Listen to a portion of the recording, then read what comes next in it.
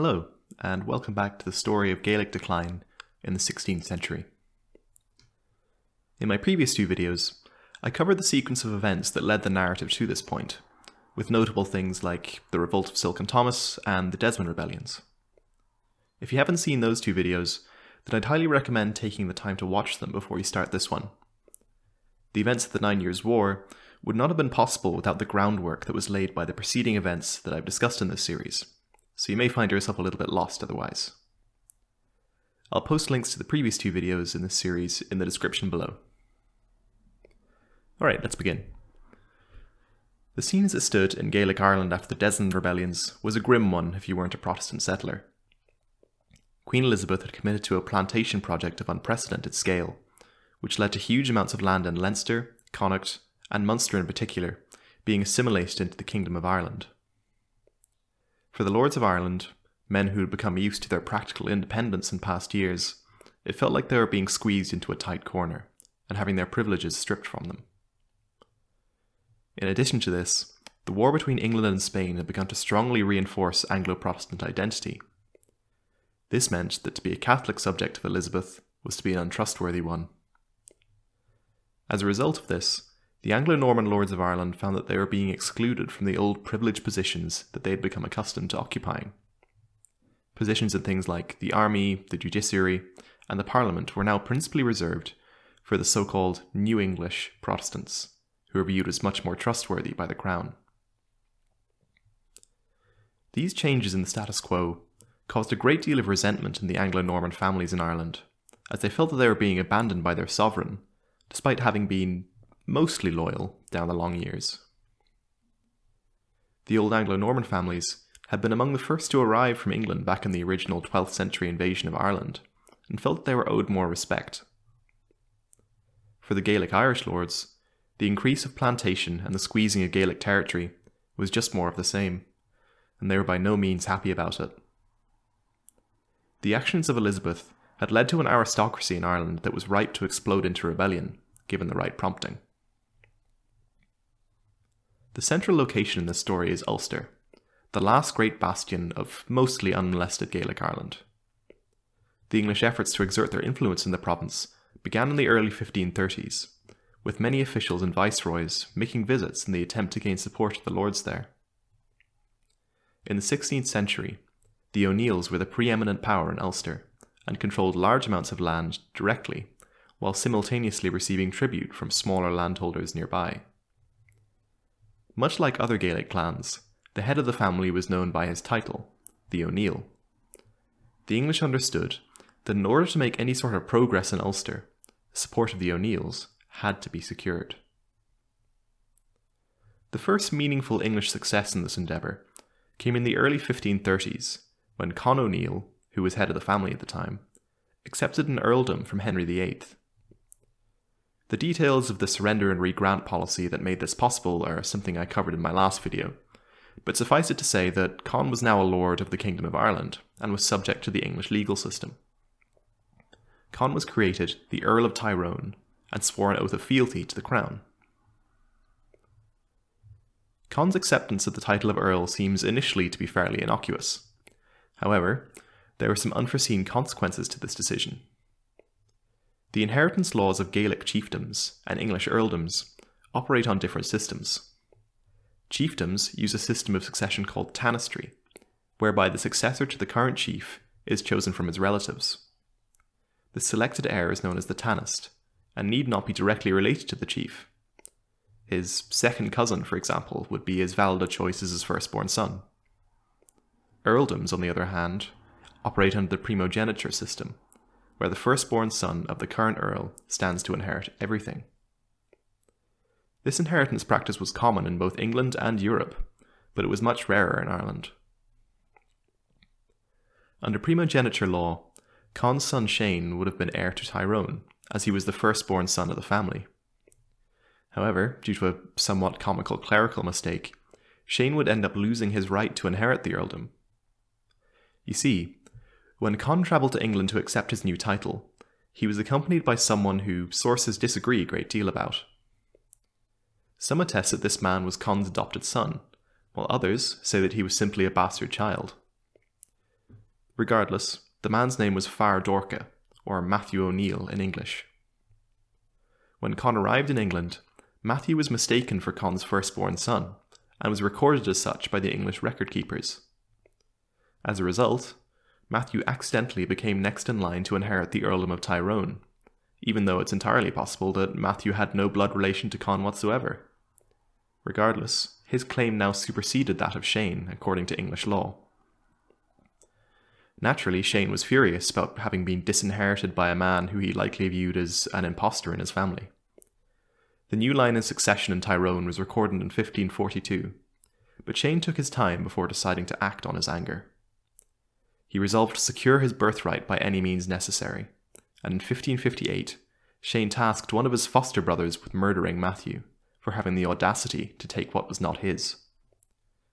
Matthew's assassination was successful, but awkwardly, the recently deceased heir had fathered two sons.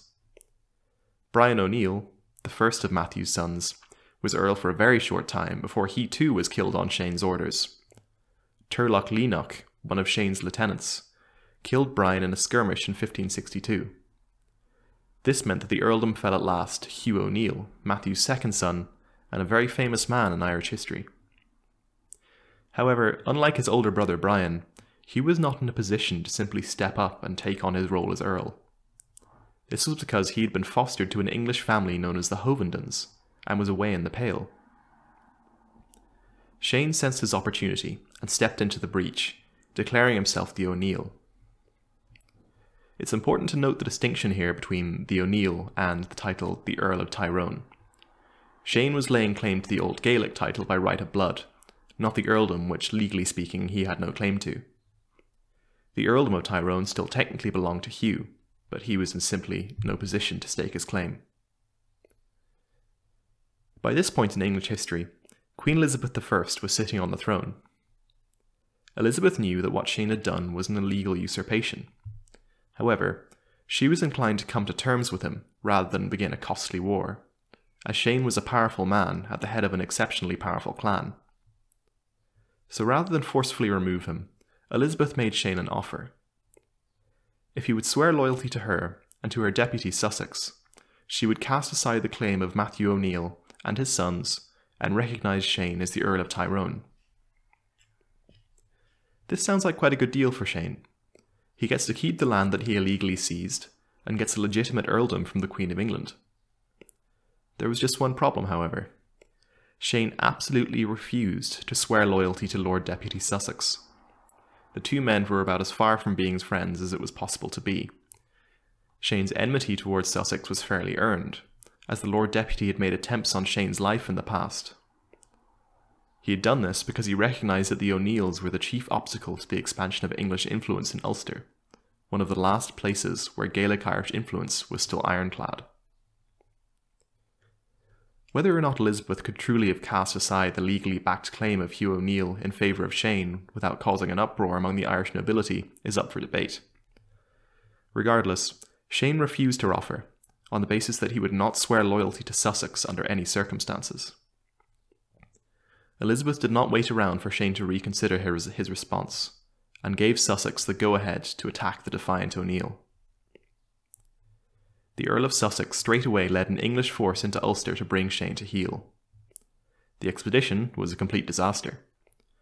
Sussex's string of misfortunes came to a head at the Battle of Red Sagums in 1561, where the better part of his army was annihilated by Shane's troops after Sussex pushed too far into his territory.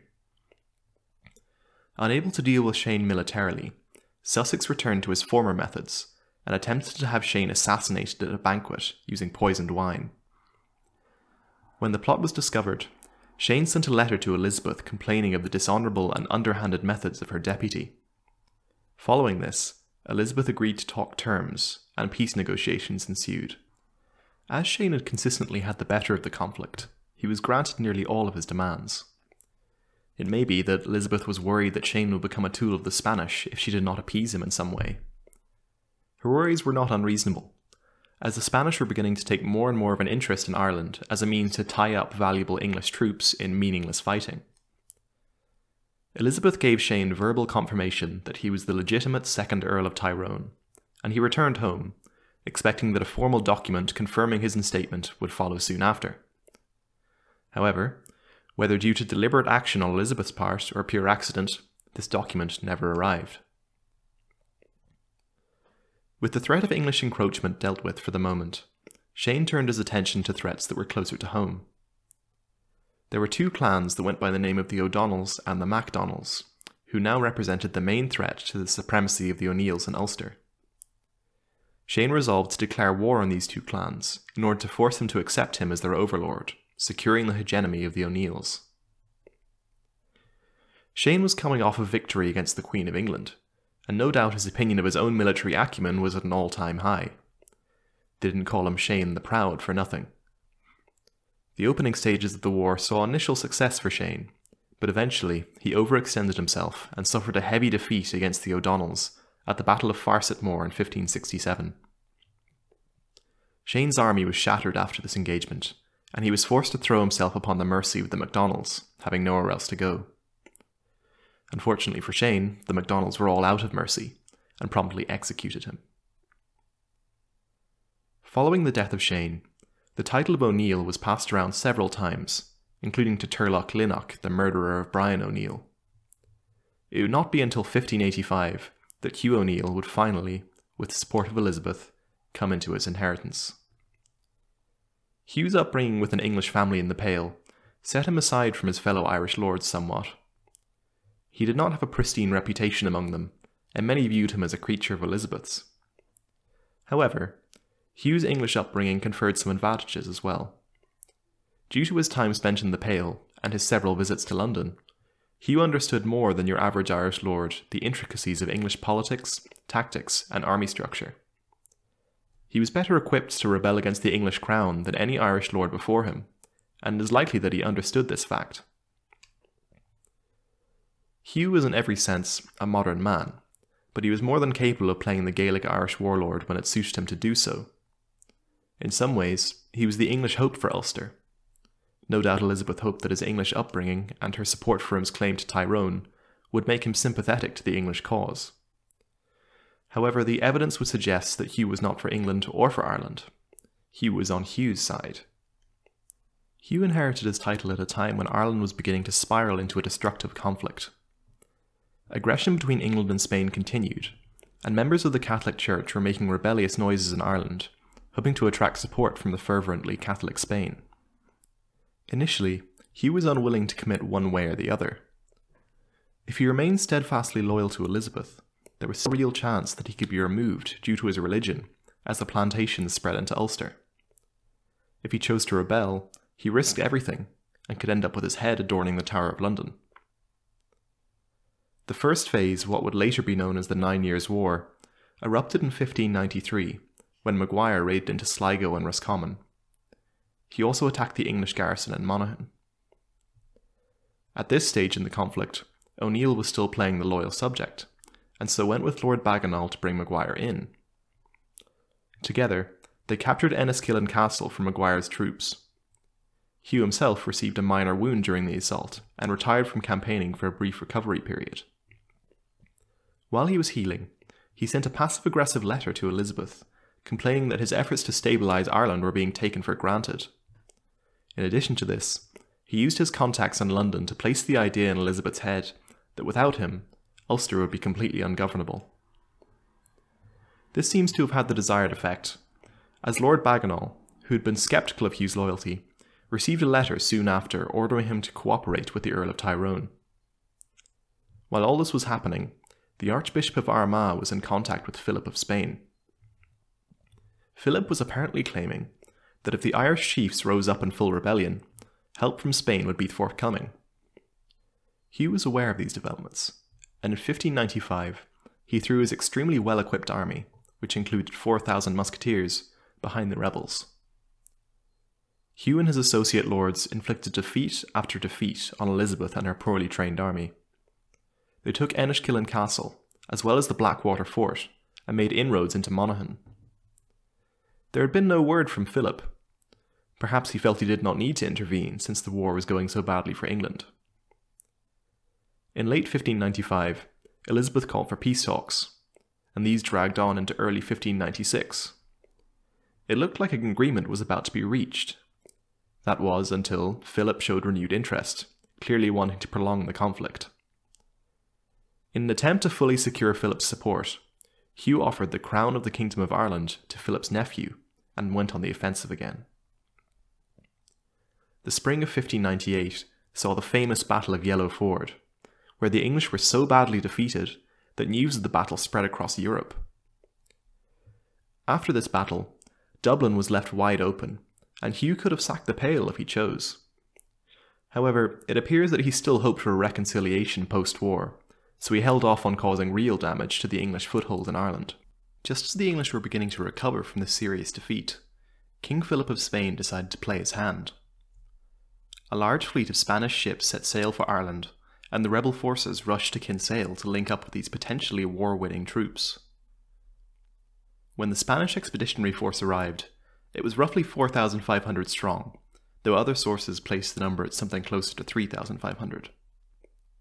The English troops under Lord Mountjoy beat the rebels to the Spanish landing grounds and drew themselves up in order of battle. Faced with a potentially bloody engagement, the Spanish decided to barricade themselves within the walls of Kinsale, knowing that O'Neill and his allies were rushing down from the north to relieve them. Lord Mountjoy settled in outside Kinsale for a siege, aiming to have the Spaniards ousted from the town before the rebels could reach them. The besieging English force was quite a large one. Notes from Lord Mountjoy's secretary state that he had 11,880 foot soldiers under his command, as well as 857 cavalrymen. The rebel forces that eventually arrived to relieve the beleaguered Spanish were equally formidable. O'Neill and O'Donnell were said to have brought 4,000 foot each, while O'Donnell in particular fielded an impressive cavalry detachment of 3,000 men. Despite Lord Mountjoy's hopes, the Spanish clung stubbornly to the walls of Kinsale and provided the time that was needed for the rebels to arrive in support of them. O'Neill favoured a light handed approach to the coming conflict, whereby the English forces could be harried by small attacks and subjected to the rigours of winter. The younger and more energetic O'Donnell, on the other hand, wanted to bring on a full scale battle as soon as possible. Perhaps O'Neill was convinced by O'Donnell's strategy, or maybe he simply didn't want to appear a coward. Either way, the two men agreed to bring on a pitched battle with the English at dawn on Christmas Eve 1601. A plan was laid where the Spanish would be signalled by musket shot to sally out from their gates and attack the English from the rear, while the rebel forces pressed them from the front. The stage was now set for a historic victory that would see a large English army completely annihilated. Well, that was the plan at least. In reality, the Battle of Kinsale was something of a mess for the rebel forces.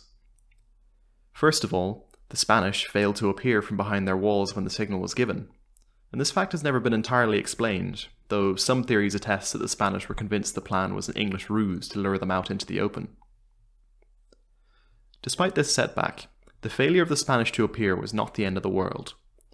The rebels still possessed a large force that was at the very least the equal of its English counterpart. Unfortunately, the rebels were not able to use these forces effectively, as O'Neill and O'Donnell's men advanced into battle in a disorganised mess, jostling with one another rather than marching forward in a unified line. The final nail in the coffin came when O'Neill noticed that the Spanish had failed to appear at the appointed time. Having been against an all out assault from the first, he decided to declare tactical retreat. O'Neill's troops began to move back towards their camp, but were interrupted by Lord Mountjoy's cavalry. Mountjoy had sensed a golden opportunity and seized it with both hands. The rebel forces ceased their organised withdrawal and began to flee in a chaotic mess. O'Neill's entire force was chased from the battlefield by the English cavalry in a tragic and embarrassing performance. O'Donnell's forces had not yet engaged, but seeing what was happening, he ordered a full withdrawal as well. O'Neill's troops suffered the brunt of the casualties in the battle, with O'Donnell and the Spanish escaping practically unharmed. With the rout of the rebel forces at the Battle of Kinsale, the Spanish now had no hope of being rescued from the trap that they were stuck in. They held out for a short time before finally surrendering on the 2nd of January 1603. And this event signalled the total strategic defeat of the rebels, though they did not all lay down arms immediately. Hugh O'Neill managed to escape the debacle with his life, and when terms were offered by the English, he took them. At the peace table, Hugh was offered very generous terms by Elizabeth life, liberty, and his earldom in Tyrone. All things considered, Elizabeth would have been quite justified in executing him. Hugh had raised his banner in rebellion, scorned her at the original peace talks, and cost the English crown an absolutely ruinous amount of money. However, Elizabeth was anxious to restore peace to the island, and did not want to antagonize Hugh's many relatives. So ends the story of the Nine Years' War and the O'Neill role in it. Some Irish earls continued to fight for a time, while others went to Europe seeking help from the monarchs there. However, most Irish earls simply fled the island, in the famous event known as the Flight of the Earls. This, more than anything, signalled the end of Gaelic independence, as so many earls simply abandoned their territory, leaving a power vacuum where loyal administrators could be neatly slotted into place. The loss of Ireland's aristocracy proved to be a devastating blow for the preservation of the Gaelic way of life. Without leaders, the Gaelic population were helpless to push back the now rapidly expanding plantation projects. And while this wasn't the end of the rebellion in Ireland, there's plenty more rebellions to come, it was the end of organised Gaelic resistance to the enforcement of English influence in Ireland. Thank you for listening to my telling of the Nine Years' War and the prominent role played by the O'Neills in it. Um, I'll need to have a little bit of a think about where to go next from here. I've got a few candidates for new videos, but I'd love to hear any ideas that you've got as well. Um, I enjoyed writing this one, and I hope that you enjoyed listening to it as well. As usual, you can contact me at CianRowanYT, YouTube, at gmail.com, and you can find small posts that expand on topics from my videos at www.irishhistoricalstudies.blogspot.com. There's a few interesting posts up there already, such as some discussion on the fight between medieval and modern in early Renaissance Ireland. Thank you again for listening.